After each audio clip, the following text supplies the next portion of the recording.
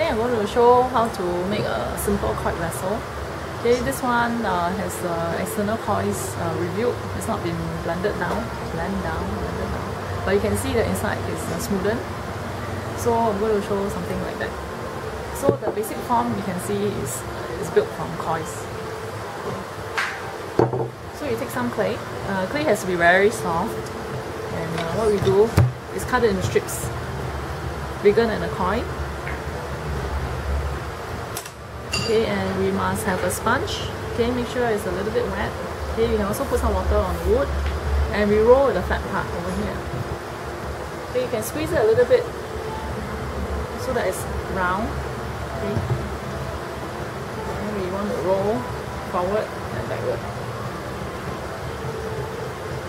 I must say Hazel makes coiling Okay. look very forward easy. and backward okay? We don't roll down. Okay if you roll down. Okay what happens here is that you flop flop flop flop okay if you get it to be flat if it happens to be flat you flip it this way again and you press down so that it is more squarish. Okay like this you press down and then you go again forward and backward. Okay forward and backward. You want to check okay? This is a bit uh, okay this is a bit fat so you want to continue. Forward and backward forward and backward if you're very productive you can use both hands. Okay forward and backward. Forward. Prefer to do that. So fast. you get something like a finger thickness. So we want to roll about a few of them maybe three okay and put it under.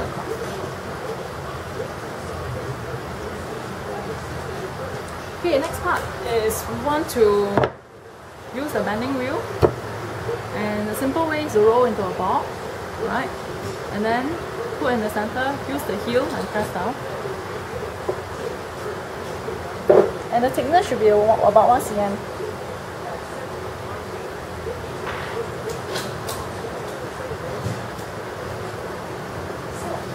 Okay, check.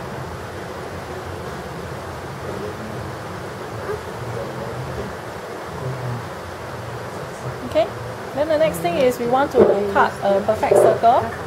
Okay, what we do is hold the needle there and uh, brace your hand to your body and then use one hand to spin and slowly lower the needle onto so you get a circle. Okay once you get the circle okay to, it's easier to manually turn and then cut it. And hold the needle still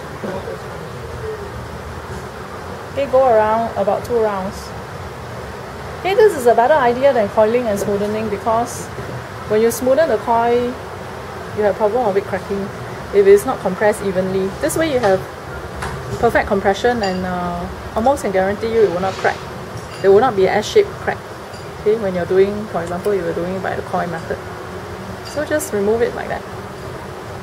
Okay, very nice. Okay, next thing I'm going to show is uh, how to put the coil onto this slab. Okay, first thing what we want to do is we want to score the surface here. So you can just go like this turn use this uh, turn the table turn the banding wheel with one hand okay then turn to the other side so you get crosses they're really really fun Hmm. okay Use the toothbrush. uh, yes you can. But this one gives you more better lines. Okay the next thing is um, here. Okay. Actually no need to if your coil is very still very soft you don't need to score on your coils okay so you take the slip. And use a tool to apply the slip. Make sure you press the slip into the cracks into the score lines. Be a bit more generous with it okay. Then the next step here is um, you want to one hand guide the coil okay the other hand press down. Okay start like this. Make a small little ramp. Okay so turn. Turn the wheel. You see? One hand hold here then the other hand will press down. See? Press down. So you get a very firm attachment okay between the coils so you see there's a ramp so you go up and press down make sure there's no gap in between. Okay and why, when you finish at the end you just make another slope like this. Okay now I'm going to build a straight vessel then after that I'm going to open it up. It's going to have a bigger rim. So place on top okay? Always place on top okay? Not like this. Not end to end okay? Place on top press down. So you don't need to score now already. Uh, No no need. still wet, is it? yeah no need. So I'm going to build it exactly straight up okay one hand guide one hand press. Very simple. And you do a bit slowly so you can know what is the shape of your pot okay now I'm going to have it to come out a little bit. So I'm going to place the coil slightly out, outwards. Okay then make a slope. You take another coil. Place on top. And we place this coil further on the outside of the coil. Okay, make the slope here. Okay, once you're ready to stop, you can just cut. Okay, place it further out. Okay, see I'm pressing it down, make sure there's no gaps okay, in between the coils. Then make a slope here. Okay, once this is done, um, what we want to do is uh, I'm going to I'm going to smoothen I'm going to smoothen both sides. Okay, so you can smoothen the inside first. Okay, use a finger like this. Blend the coils. When you use your when you blend down, you have to blend halfway into the coil, not just a little bit. Let's really smush it in. Yeah, smush it. Hold the ha- hole outside and push. Blend the coils. You can use this finger. You can also use this finger. Okay, whichever is more comfortable. Hold outside. Okay, press and blend the coils together. So you see the pressure is halfway in and blend down. You hold outside. Halfway, halfway in blend down. It's a very methodical process.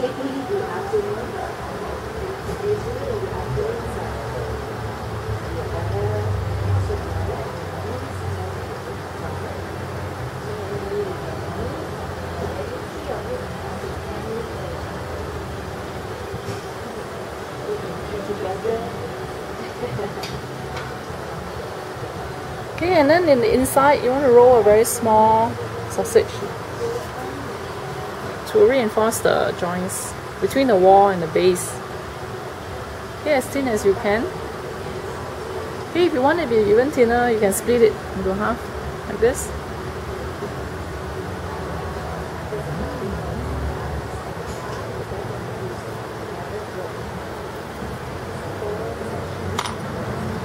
Okay, and blend it here into the pot, uh, into the between the wall and the base. You can see. Can see? Like this. Okay, blend.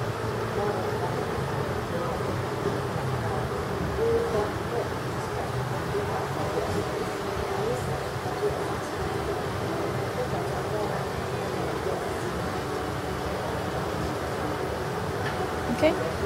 So if you blend it uh, deeply enough, you can just blend one side, which is the inside, so that I can reveal the outside.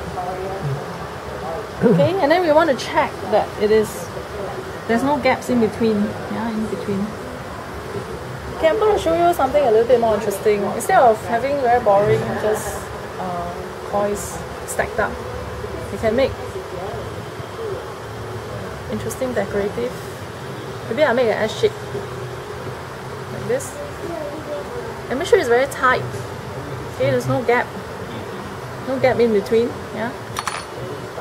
And you can try to piece it together. Yeah. Maybe I want to have as, li- as little gap as possible. Okay. And make sure it's tight. Okay, we do another one here. S shape. Use the thumb to fold it in.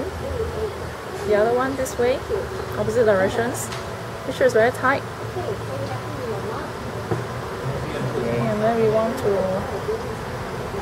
If you have a gap there, you can make a small little round dot just to fill it fill it in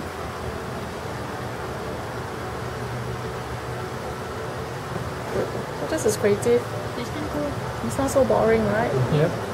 And it has to be quite thick. In order for this to be successful it has to be quite thick. If it's too thin yeah so we want to do another maybe a bigger S. So I'm going to coil a little bit more. So we can work out the design along the way right? So I'm going to have a big S. And uh, put here. Okay there's a gap there. So we make a little circle. No. okay and try to fill it in too big. Just outside can yeah just to secure that. support it squeeze it in so I think maybe this way this way this way ah this way Yeah. and this this way make sure you kiss them together very tightly like Firmly tight behind. tightly will not- yeah. huddle huddle them together okay last Fall one here. Maybe I can do something a bit more creative. Maybe I throw it this way. Mm.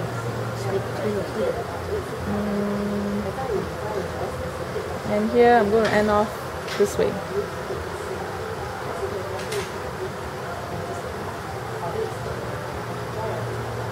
Pour a bit more. And fit it in. There's a hole there. A little guy squash it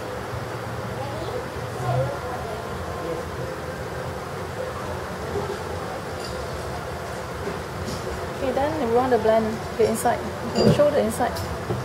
Now hold the outside and want to blend. Okay, you can also use a tool. This will give you more directed, direct um, focus strength. Because it's stiff compared to your fin- finger. The clay from one side to another side.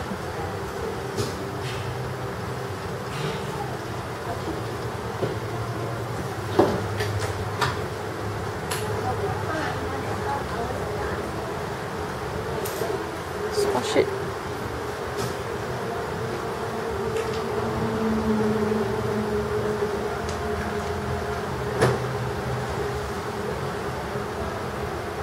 You want to shoot from my angle?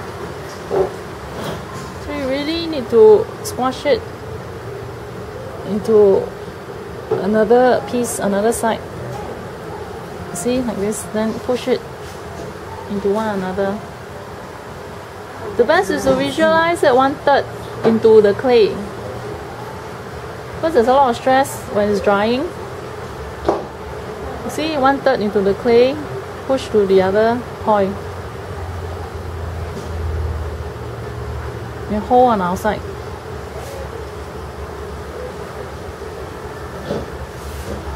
If you like it, uh, the inside need not be smooth. Why must it be smooth? It can be this kind of stroke, wooden tool stroke pattern. Oh, like your pattern.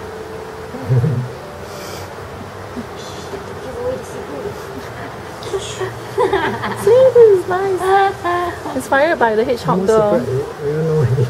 The hedgehog girl.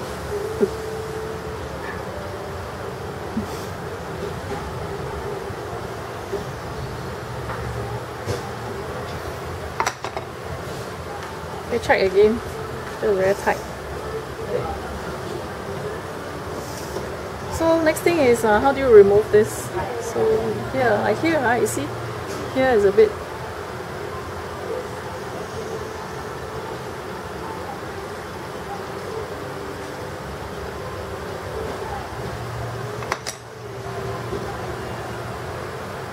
Wire. You can need a wire to remove. Okay, how do you remove this? The base here, you can make it a bit nicer. You see the base? Okay, you can put your finger there to elevate it slightly. Okay, you can also use this tool to trim. Mhm. Okay, you can trim. Okay, I'll show you this way. Hold the tool there and you can trim away the excess. You see, it gives a very nice foot footing, foot detail Look for the vessel. So you kind of move the vessel up. So there isn't a very sloppy slope. So it actually elevates. This one you for cutting wire, twirl between, pull it tightly and then press down.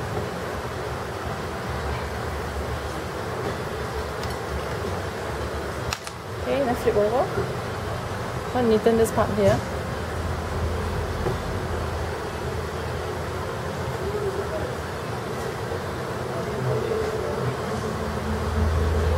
Your name. Just put your initials.